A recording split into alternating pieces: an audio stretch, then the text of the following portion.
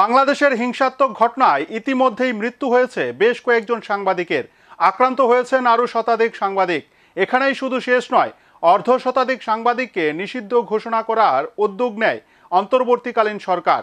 বৈষম্য বিরোধী আন্দোলনে সে দেশের সাংবাদিকদের উপর আক্রমণের তীব্র প্রতিবাদ ও নিন্দা জানায় রাজ্যের সংবাদ মাধ্যমের কর্মীদের দশটি সংগঠন।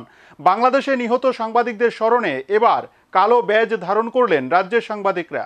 পার্শ্ববর্তী রাষ্ট্র বাংলাদেশে বৈষম্য বিরোধী আন্দোলনে এখনও থমথমে পরিস্থিতি বিরাজমান। হাসিনা সরকারের পদত্যাগের পর মোহাম্মদ ইউনুসের নেতৃত্বে অন্তর্বর্তীকালীন সরকার গঠন হলেও এখনও পরিস্থিতি স্বাভাবিক হয়ে ওঠেনি। প্রতিনিয়তই ঘটছে হিংসাত্মক ঘটনা। বৈষম্য বিরোধী আন্দোলনকে ঘিরে বিভিন্ন হিংসাত্মক ঘটনা হাত থেকে রেহাই পাচ্ছে না সে দেশের সাংবাদিকরাও। ইতিমধ্যেই হিংসাত্মক ঘটনায় পাঁচজন সাংবাদিক নিহত এবং বেশ কয়েকজন সাংবাদিক আহত হয়েছেন। নৃশংসভাবে পাঁচজন সাংবাদিককে সন্ত্রাস সৃষ্টিকারীরা হত্যা করেছেন। শুধু তাই নয়, অর্ধ শতাধিক সাংবাদিককে নিষিদ্ধ ঘোষণা করারও উদ্যোগ নেওয়া হয়েছে যা মুক্ত সাংবাদিকতার পরিপন্থী। বাংলাদেশের চলমান পরিস্থিতিতে সাংবাদিকদের উপর একের পর এক আক্রমণের ঘটনায় উদ্বিগ্ন এই রাজ্যের সাংবাদিকরাও। রাজ্যে দশটি সংবাদ কর্মীদের সংগঠন ঐক্যবদ্ধভাবে সাংবাদিকদের উপর আক্রমণের তীব্র প্রতিবাদ ও নিন্দা জানায়। সংগঠন দশটি অবিলম্বে সাংবাদিকদের স্বাধীনতা স্বাভাবিকভাবে ফিরিয়ে আনার জন্য বাংলাদেশের অন্তর্বর্তী সরকারের দৃষ্টি আকর্ষণ করে। সে দেশে ভয়মুক্ত পরিবেশে যাতে আগের মতো সাংবাদিকরা স্বাধীনভাবে কাজ করতে পারেন এবং কোনো ধরনের বাধার সম্মুখীন না হয়, সে বিষয়ে উপযুক্ত ব্যবস্থা গ্রহণ করার জন্য অন্তর্বর্তী সরকারের নিকট দাবি জানায় সংগঠনগুলি। দাবি জানানোর মধ্যে সীমাবদ্ধ নেই সংগঠনগুলি।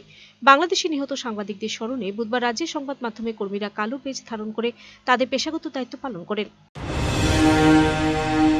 আমাদের আজকের এই সংগ্রামের সমস্ত সহযোদ্ধা, আজকে আমরা এ রাজ্যের সাংবাদিকদের দশটি বৃহৎ সংগঠন একত্রিত হয়েছি।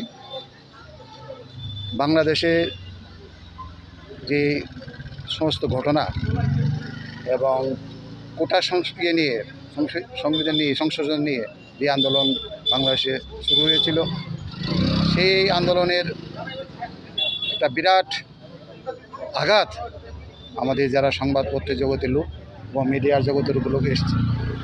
আপনারা জানাচ্ছেন ইতিমধ্যেই পাঁচজন সাংবাদিক প্রাণ হারিয়েছে এবং অনেক সাংবাদিক আহত হয়েছে, গুলিবিদ্ধ হয়েছে এবং কালকেও এই ধরনের ঘটনা ঘটেছে এবং প্রায় পঞ্চাশ থেকে ষাটজন সাংবাদিককে তাদেরকে নিষিদ্ধ করা হয়েছে।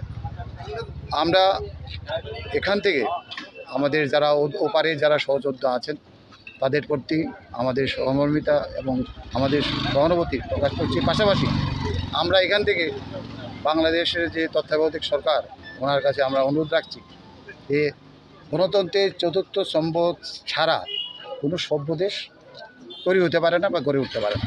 আপনাদের আভ্যন্তরীণ রাজনীতি আপনাদের কাছে রাখুন।